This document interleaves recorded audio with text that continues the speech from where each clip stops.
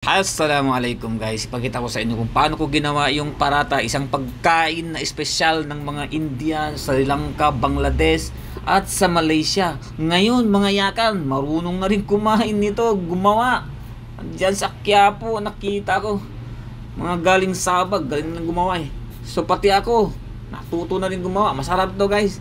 Lalo na yung ang ulam niya, yung beef curry Okay?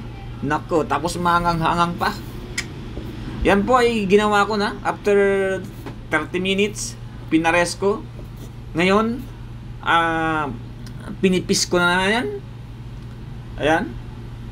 Dalawang beses ko na pangalawa na kasi yan ay ready to cook na yan.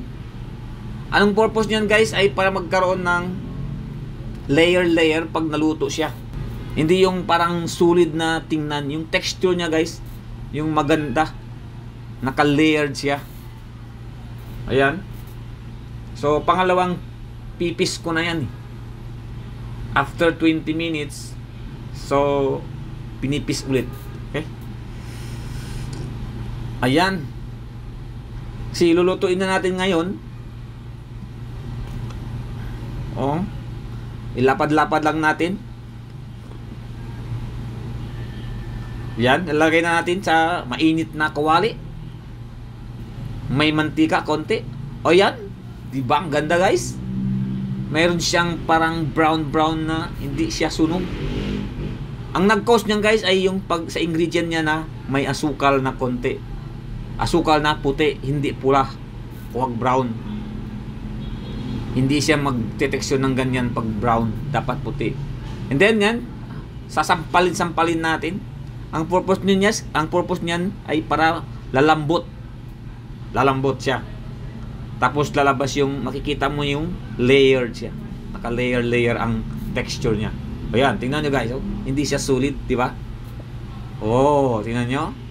Huh? Ngayon kakain na tayo. Ayan yung ulam natin ginawa natin kanina. Before ako nagluto ng uh, layer ng ano yan habang pinapares ko. Ayan. So kakain na tayo. Bismillah. Ah.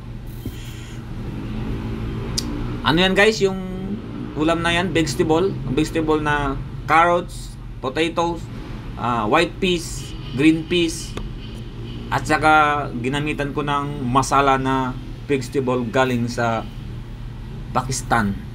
Yan. O, tingnan nyo guys yung, tingnan yung texture niya guys.